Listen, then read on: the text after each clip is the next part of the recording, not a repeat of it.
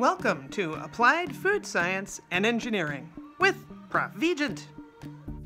Let's talk about what a refrigerator is good for besides holding onto all of my pictures and magnets.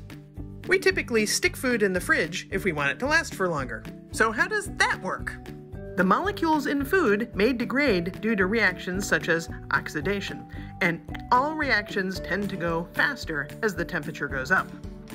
The rules are slightly different for enzymes, which are the proteins that may cause fruits and vegetables that you have stored in the fridge to degrade on their own.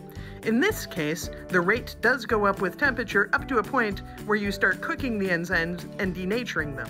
Still, the biggest worry in food spoilage is, of course, microbes. That's because, unlike degradation due to chemical reaction or enzymes, microbes sometimes can make us sick or even dead if they spoil food.